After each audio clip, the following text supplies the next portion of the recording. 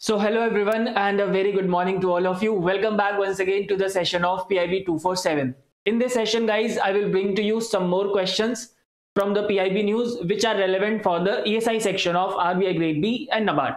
So let's begin with the session but before we begin, if you are coming here for the first time, do subscribe to our channel and press this bell icon and also you can join this telegram group for daily quizzes and updated information about the daily sessions and you can also ask any doubts here, right?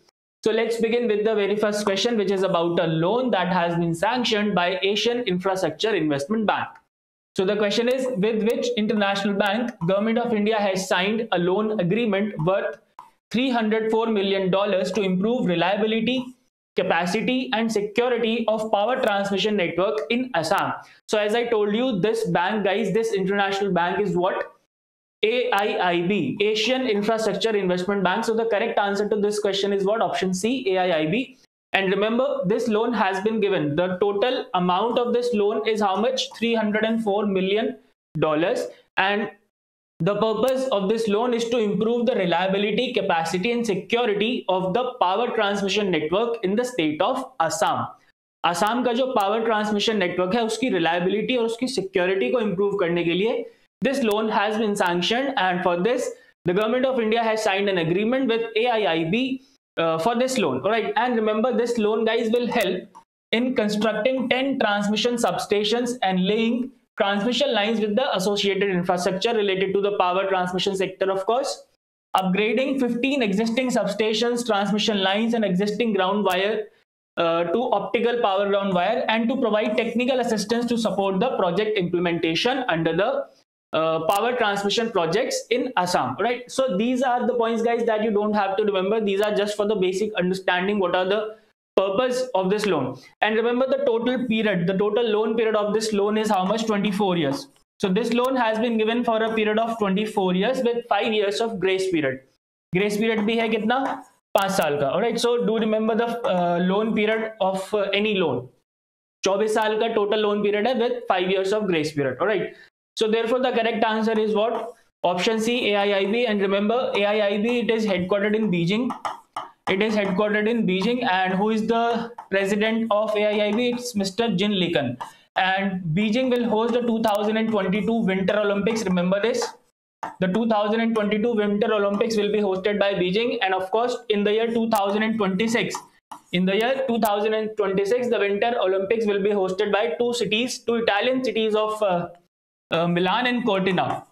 There are two cities in Italy which are Milan and Cortina. They will host the 2026 Winter Olympics. And talking about the Assam, so अगर हम असम की बात करते हैं so Assam chief minister is mister Sarbananda Sonowal Sarbananda Sonowal is the chief minister and they have launch various schemes like Arunoday scheme Arunoday scheme they have launched Apun Apun Ghar scheme Apun Apun Ghar scheme, they have launched education loan scheme which is known as Abhinandan.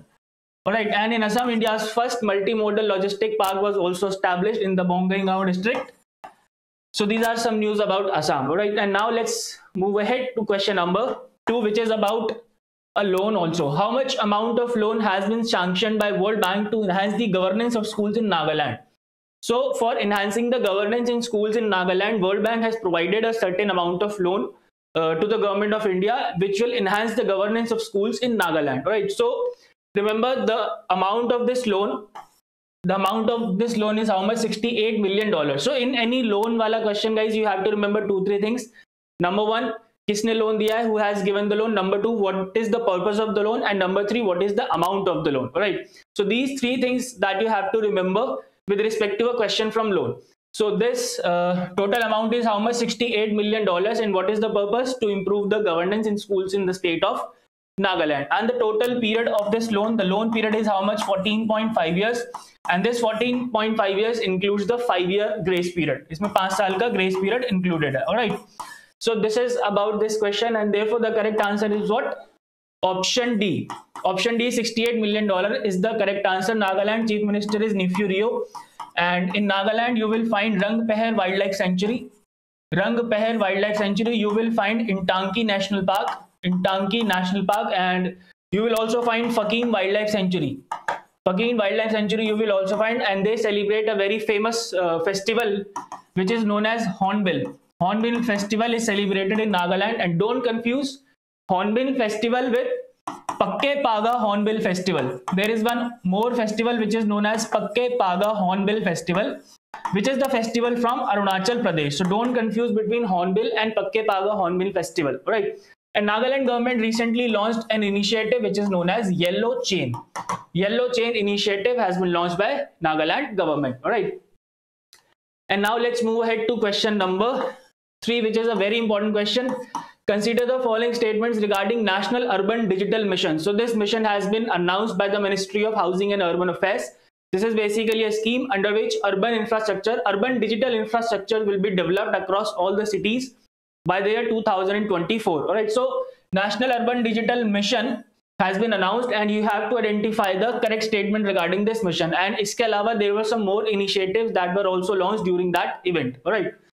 So let's talk about this initiative. So as I told you, the basic objective of this mission is to create a shared digital infrastructure in the urban areas.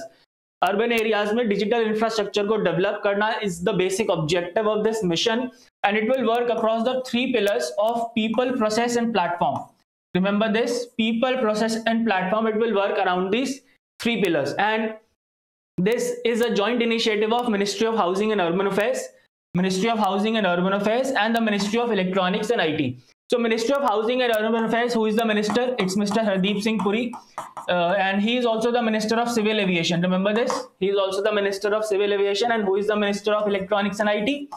It's Mr. Ravi Shankar Prasad. And his Lok Sabha constituency is Patna Sahib, which is of course in Bihar. All right. And now uh, one more thing that you have to remember that it will institutionalize a citizen-centric and ecosystem-driven approach to urban governance by the year in all the cities by the year 2024 basically it will uh, this project is targeted to be completed by the year 2024 which means the government is targeting to build a digital urban infrastructure in all the cities by the year 2024 so this is about this mission and there are some more initiatives that were launched like number one is indian urban data exchange.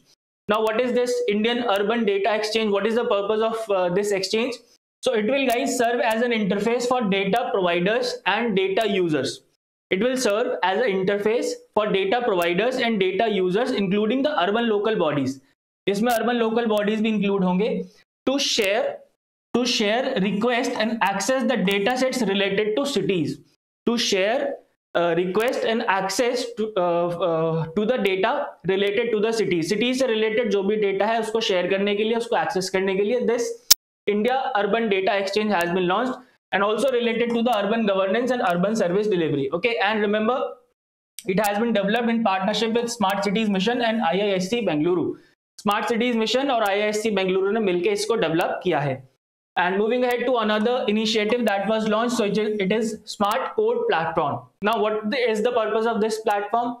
It is, guys, a platform designed to address the challenges that urban local bodies face uh, while uh, during the development of a of an urban areas urban local bodies को जो challenges face करने होते हैं during the development of any urban area उसको खत्म करने के लिए उसमें help करने के लिए this smart code platform has been launched now what will it do it will enable the cities to take advantage of the existing coast uh, uh, codes and uh, customizing them to uh, suit their local needs basically जो कुछ codes होंगे उसका इस्तेमाल करके the urban local bodies can solve the problems that they face uh, during the development of a particular urban area all right so these were some initiatives guys that was launched during the initiative and now let's come back to the question i hope you can easily answer this it has the objective of creating digital urban infrastructure yes this is absolutely correct and this has to be completed by the year 2024 across all the cities it is focused on four pillars of people process platform and partnership. So no there are not four pillars. There are three pillars on which it is uh, focused. Partnership is not one of them. There are only three pillars which are people process and platform. And it is a joint initiative of ministry of housing and urban affairs and ministry of electronics and it this is absolutely correct. It is a joint initiative of these two ministries. So only first and third statements are correct here. Therefore option a only one and three guys will be the correct answer and now let's move ahead to question number four, which is the last question for today. And it is again a very important question because it's it talks about the awards that have been given under the PM किसान योजना okay PM किसान योजना के under कुछ awards दिए हैं So this question is about that. So consider the following statements regarding awards that have been given by Union Minister of Agriculture and Farmers Welfare, who is Mr. Narendra Singh Tomar. He is also the Minister of Food Processing Industry, and he is also the Minister of Rural Development and Panchayati Raj. All right. So you have to identify the correct statement regarding the awards given under the PM Kisan Yojana. So these are some awards. These are some important awards, guys, that have been given so there are some parameters and there are some categories of states and their respective winners. So number one cat, uh, parameter is highest percentage of Aadhaar authenticated beneficiaries. And the states are divided into two uh, categories. Number one is the other states and number two is the northeastern and hilly states. So under this parameter, Karnataka is the best performing state in the other states category, while in the northeastern and hilly states category, it's Arunachal Pradesh, which is uh, the best state. Now the next uh, parameter is good performance in physical verification and grievance redressal. In this parameter, in the other states category, Maharashtra is the best, while in the northeastern and hilly states, it's Himachal Pradesh which is the best.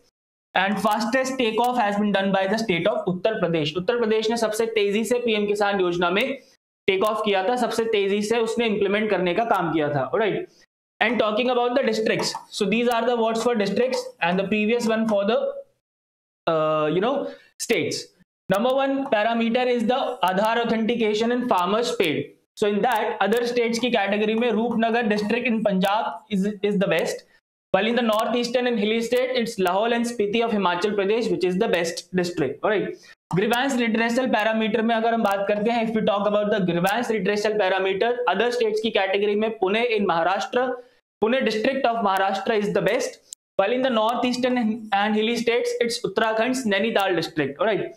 And talking about the physical verification parameter, so in other states category, it's Ahmednagar of Maharashtra is the best, while in the northeastern and hilly state, it's Kangra from Himachal Pradesh, which is the best performing district. All right. So these are some uh, important awards that have been given. So you should remember this, and this is very important. Remember this, right? And now let's come back to the question. So out of these three statements, you have to identify the correct one. Under the fastest takeoff parameter, Uttar Pradesh is the best state. This is absolutely correct. Uttar Pradesh best state hai among the in the fastest takeoff parameter. In the grievance redressal parameter, Pune is the best district in other states category. Yes, this is absolutely correct. Pune is the best district. And in the physical verification parameter among the northeastern and hilly states, Kangra is the best district. So this is also correct, guys, which means all the statements are absolutely correct here. Therefore, the correct answer should be what? Option E. All are correct. All right. And guys, that's it for all the questions and that's it for the session. I hope all the questions are clear. If you have any doubts, you can ask me in the comment section. Thank you so much for watching. Goodbye. Take care and God bless.